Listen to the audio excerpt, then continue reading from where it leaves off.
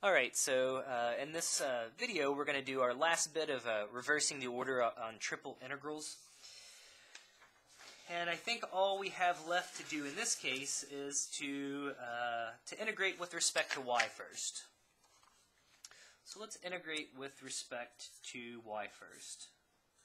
So I'm going to, again, make use of, uh, I'm going to kind of approach it, you know, the same way we were doing it a second ago in the other two videos. So now what I'm thinking about, since we're integrating with respect to y first, again, I know my equations need to be of the form y equals some, some equation, y equals some equation, I should say y equals, you know, some function of uh, x and z, y equals some function of x and z. Alright, so what I think about is, I kind of begin thinking about the y-axis, which, okay, the y-axis looks like that in my picture. I kind of think, you know, if there, if I could take a line, if I could move the y-axis and, you know, put it right through my surface.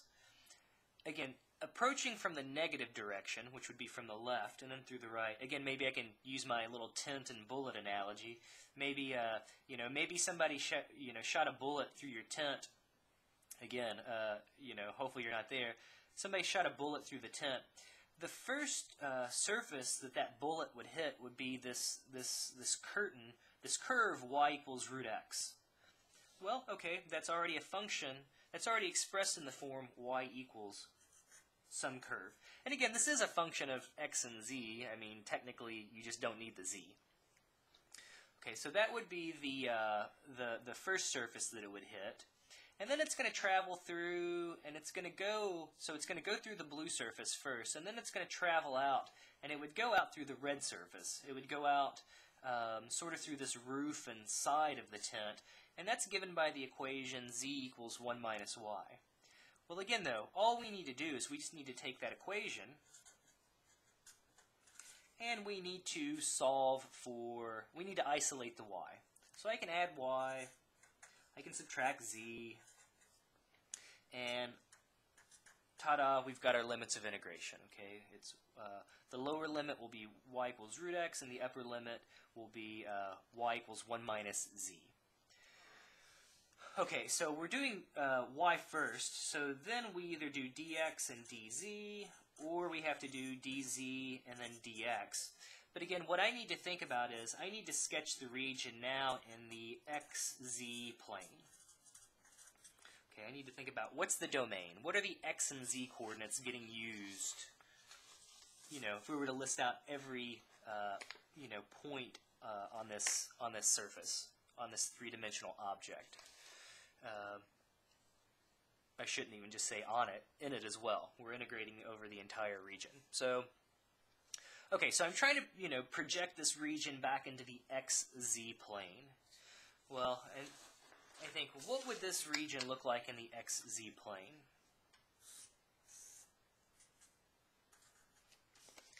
Okay, so again, I kind of imagine, you know, if the sun was way out, you know, kind of, you know, the sun was way out here along the way the y-axis.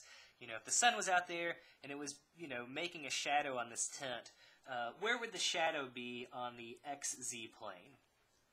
Well, I think the shadow is going to come basically from the curve. It's going to come from the uh, the curtain y equals root x. But again, we kind of have to we have to express that curve in terms of z's and x's. But we can do that without too much trouble. And again, you know, again, this is what I said in the last video. Pay attention to the equations. We have z equals 1 minus y. But we also have that y equals root x. So we can just do a substitution. Let's just, you know, replace the y with root x. So it says we're going to get the curve z equals 1 minus, not y, but, well, square root of x. And if you graph 1 minus root x, you know, you can always plot points if at this point you're losing your mind. x equals 0 is 1, right? Plug in x equals 1, you'll get uh, z equals 0 just going to be uh, just a little curvy area. Okay, so this is going to be the area in the uh, the xz plane. If we could kind of you know create this shadow over here on the xz plane. Okay, if we could kind of create that shadow, maybe that's probably not big enough. Let's make it a little bit bigger. That looks more correct. If you could look at the shadow that this tent would create in the xz plane, it's going to create that curve. Alright, we're getting close, my friends. This is uh, the curve z equals 1 minus x. Uh, the bottom curve is just going to be z equals 0. Okay, so let's knock this one out. So let's see. So a second ago we did we integrated with respect to y first. So I'm just copying down what I had up here at the top. Let's suppose we want to integrate, let's integrate with respect to z next. Okay, if I integrate with respect to z next, again, I'm going to draw my, uh, my line up and down. And again, that tells me that I, I, my limits of integration have to be in the form z equals something, z equals something. Well, the upper limit of integration is just going to be the top curve, which we said is going to be z equals 1 minus root x. The lower curve is just simply going to be, well, z equals 0. Last but not least, we would need to integrate with respect to x on the outside. Again, we need to use the smallest x to the largest x. The smallest x coordinate is 0. The largest x coordinate is 1. So that would be one of our uh, integrals. And again, you could get rid of the z equals and the z equals. So you could just say from 0 to 1, from 0 to 1 minus root x, from root x to 1 minus z. Again, you're doing dy, dz, dx. Oh, I think I'm starting to lose my mind here. Uh, nah, they're not that bad. And I know these uh, videos have been a little long, but I think I'm, you know, just trying to be super thorough because I think they can be confusing. Okay, so we did z first. Let's do x. Uh, so we, I should say we did y first, but then we did z, then x. Let's do x and then z. With a bit of practice, you can certainly, obviously, you know, get faster. So, so have hope. Um, and hopefully you'll be given the diagram at the beginning too. Um, okay. So we said if we did y first, uh, we said when we did y first, it was root x to 1 minus z. Okay, so now we're going to integrate with respect to x. Okay, so we're going to integrate with respect to x. Well, again, forget about uh, making our line uh, uh, vertical. Let's make it horizontal.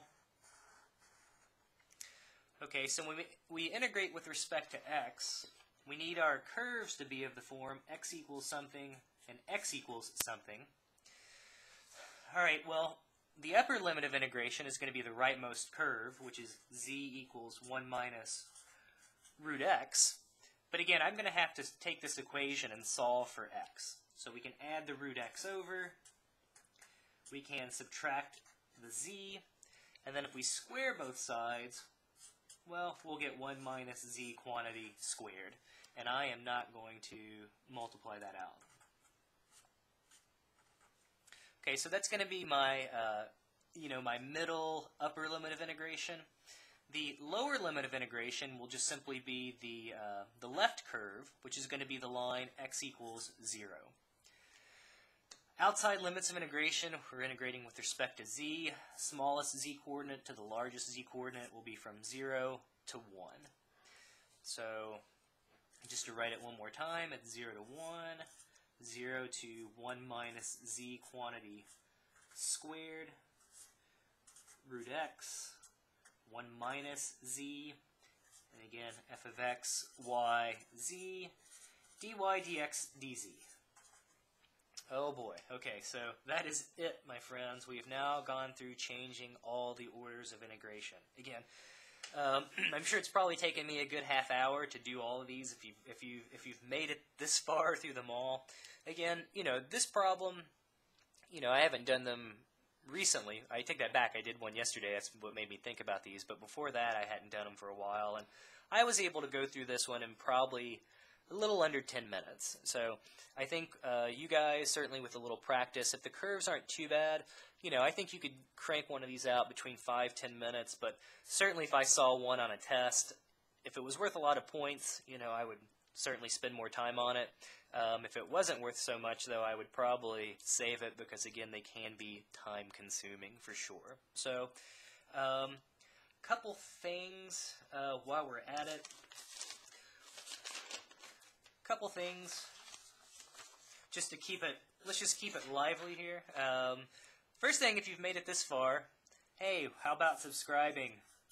That would be awesome. Patrick would love you for it. But the other thing, the important thing is, how about another little problem? Uh, if anyone's interested, feel free to post video responses about this one, and uh, you guys can give your take on it. So it's kind of a same similar problem. It says the figure shows the region of integration for the integral from 0 to 1, 0 to 1 minus x squared, 0 to 1 minus x, f of x, y, z, dy, dz, dx, and again, they want you to rewrite uh, this integral as an equivalent iterated integral. So basically the same thing I just did, okay? So if you're interested, um, you know, I think that would be a great problem. You know, if you if you're watching all this stuff, that would be a great problem to uh, to practice on. And some of you people, uh, if you if you want to kind of compare answers and see what happened, uh, post a video and see how everything, you know, see if you got the right answer or not. Um, so again, I'm going to try to make a, a little sketch of it. Hopefully, it'll be a little bit clearer. Um, quick little sketch here. Probably should have done this before. Uh, okay, so again, what they're saying is that the top surface, this top surface is the equation z equals 1 minus x squared. Um, it looks like the uh, kind of the uh, sort of the right portion of the wall. That's the equation y equals 1 minus x. Again, the integrals they gave were from 0 to 1, 0 to 1 minus x squared, 0 to 1 minus x, f of x, y, z, dy, dz, dx. Okay, so that's kind of, they're saying, you know, this is one of the uh, ways to set up this region. Find the other regions as well. So it looks like to me the floor is still just going to be the uh, xy plane. It looks like it's uh, bounded on the left by this, uh, this you know, the, uh, the uh, xz plane and then in the back by the YZ plane. So if you want to practice one and post some video responses, I would love to see them because, um, again, I think this stuff's complicated. It's always great to get a different viewpoint on it. So, all right, my friends, uh, sorry for the long videos. Again, I think it's complicated, so it is what it is. I hope it helps. I hope it makes sense. And uh, I don't know try the other problems as well for sure.